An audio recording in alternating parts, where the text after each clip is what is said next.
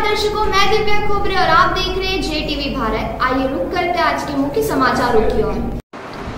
जन्माष्टमी के अवसर पर दो दिवसीय भगवान श्री कृष्ण की कृपा प्राप्ति हेतु कार्यक्रम का आयोजन रखा गया है, जिसके तहत बुधवार को गुरुदेव का मंगलम रिजॉर्ट पर आगमन हुआ। गुरुवार को प्रातः ठाकुर जी की सेवा ग्राम ढाकनी स्थित श्री राज बिहारी गौशाला में गौमाता को गुड़, लापसी, चारा, आहार दिया गया। इसके बाद गरोट में भक्त निवास पर पधरावनी की गई। शाम को मंगल रिसोर्ट गरोड में भजन संध्या और कृष्ण जन्मोत्सव मनाया गया।